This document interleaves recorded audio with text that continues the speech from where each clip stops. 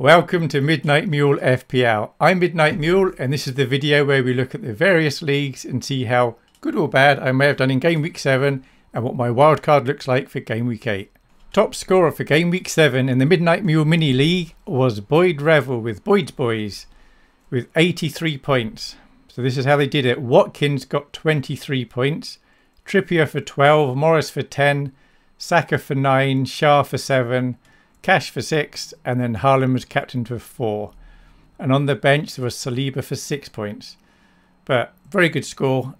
Globally, it was a lowish scoring week, so that was a, a good score with what we had going on for game week seven. Top of our league is Green Tick by JG with 69 points, 497 points in total.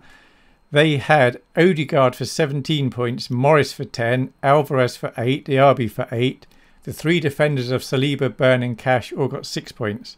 Captain Haaland four, and on the bench was Saka for nine points. So well done for being top of the league at the moment.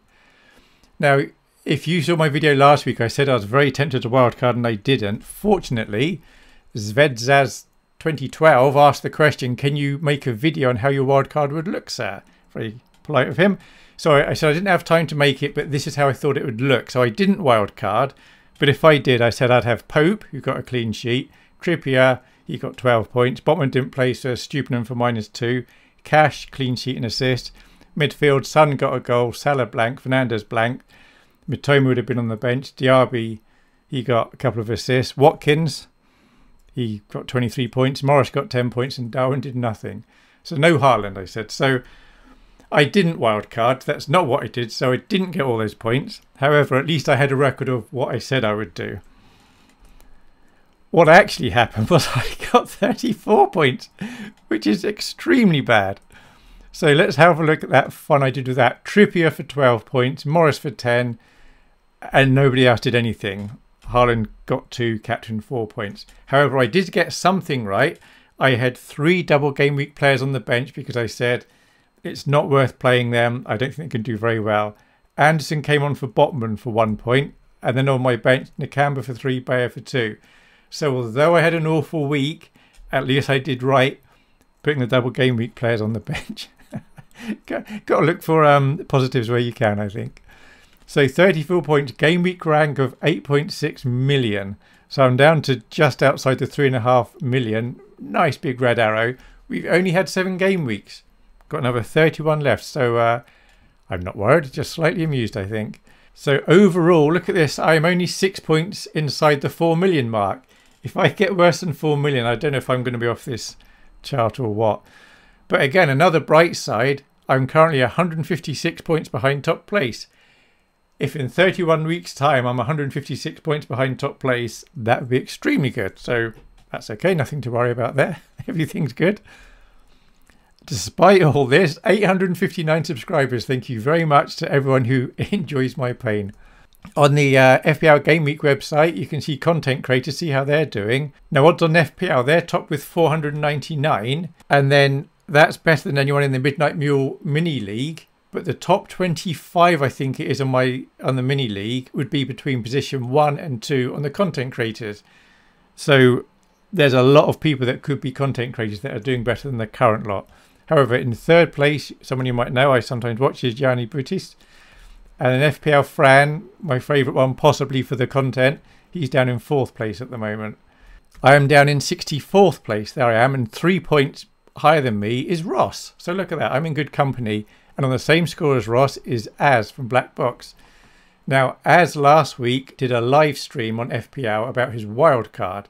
And I think it's the most entertaining FPL live stream I've seen so absolutely worth going back to watch that. Um, it was very, very good. I didn't watch it live. I watched it shortly afterwards, but it's very good. F Big Man Bakar, you may recognise him. I'm two points behind him at the moment, but I am at least above Nima. So that's something. So I am going to wildcard this week. I've already pressed the button. I will show you where I am at the moment. This is what I am currently intending to do, but there are some European games tonight so it could change. We may get injury news. But as things stand, this is how I'm looking. I've got Son as captain. So there we go. And his two mates, Maddison and Pedro Porro, they're all the way to Luton. If I need to save a bit of money, I can swap Porro for Udogie, but I would rather have Porro, I think, just about. And then my vice captain is Salah, away to Brighton, and I'm taking a risk. This is the, I'm taking three quite big risks here. The first one is I've got Darwin. He is a minute's risk. I'm aware he's playing. To, he is playing tonight. If he was guaranteed like 70, 80 minutes, then I think lots of people would have him. But he is a bit bit of a dodgy geezer regarding time. But we'll see. Anyway, how else are we doing? My only home player this week that I'm starting is Areola. He's home to Newcastle, and people would expect Newcastle to score. So overall, this might be a lowest scoring game week for me on the wildcard. I'm aware of that. Trippier away to West Ham. West Ham have a good chance of scoring, of course. Cash and his two mates, Diaby and Watkins, as things stand, away to Wolves. Diaby is flagged, but my bench is okay. So if it's a minor injury and he should be back soon, I'm probably going to keep Diaby all right. Now, of course, they're playing Wolves. That is a derby, and in derby games, the difference between the two teams tend to get lessened. So anything could happen there. Obviously, anything, not anything could happen, but maybe Wolves are going to win 1 0. Maybe Villa are going to thrash them 10 0. Who knows? And then my second biggest differential, I'd say, is I'm having Højlund up front. Oh, another home game. Look at that. Home to Brentford. So this is a big gamble because he's done nothing so far in the FPL. He is a new player but he's been doing all right in Europe. And I'm kind of thinking Rashford and Fernandes feeding the ball into him, he's going to score. Brentford are awful at the moment. Man United have got a nice run. I haven't got any other United players. So a bit of a gamble, but the biggest differential is, as you can probably see, there's no Haaland, there's no Alvarez, there's no Man City players whatsoever. Not only that, I don't have an easy route to get Haaland back.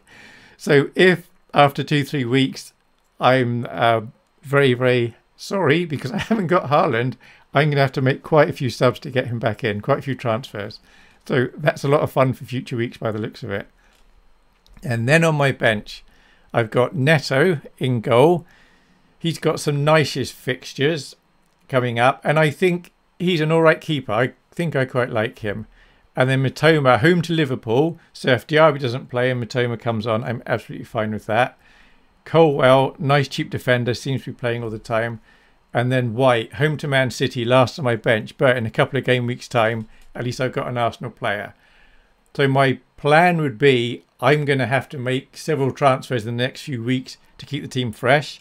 So I've not worked out how I'm going to do these transfers because every week things the landscape changes so much. It's really tricky to say in three weeks' time I'm going to do this because who knows what I'm going to do.